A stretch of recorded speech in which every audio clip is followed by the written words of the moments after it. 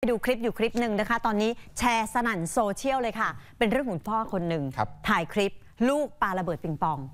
และลูกวัยประถมเลยนะปาระเบิดปิงปองแบบนั้นน่ะ ตอนนี้เป็นที่วิพากษ์วิจารณ์บอกอันตรายมากจริง ๆ ค่ะ ไปดูค่ะ มารถมาดูสิเพิ่งกลับจากโรงเรียนมั้งเนี่ยโอ้ใส่เสื้อกล้ามอยู่เลยอะโอ้ ถุงเท้านักเรียน กางเกงนักเรียนปาไปตุ้มอย่างเงี้ยไอ้หนูเอ้ยเคยเห็นข่าวไหมระเบิดคามือน่ะ แล้วพ่อปล่อยได้ยังไง เป็นห่วงครับมาพ่อถ่ายคลิป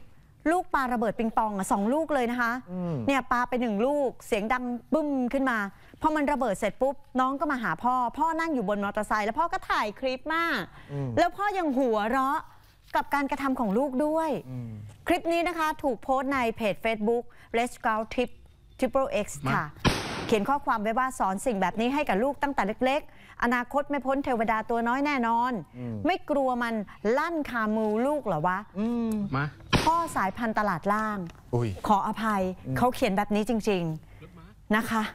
คลิปนี้พอถูกเผยแพร่ออกไปคุณอื้อหือไม่ต้องเดาก็รู้อะเนาะอืมวิจารณ์กันให้แซดบอกมองเห็นอนาคตบ้างละบางคนบอกเด็กแถวบ้านตาบอดไปข้างหนึ่งเพราะเคลี้ยงไม่ทันอืมบ้างก็บอกถ้ามันระเบิดคามือมา สลดแน่พ่ออืมหลายคนลงความเห็นว่าพฤติกรรมของพ่อไม่เห็นลงศพไม่หลั่งน้ำตาจริงอืมๆบางคนบอกเป็นพ่อเมื่อพร้อมนะ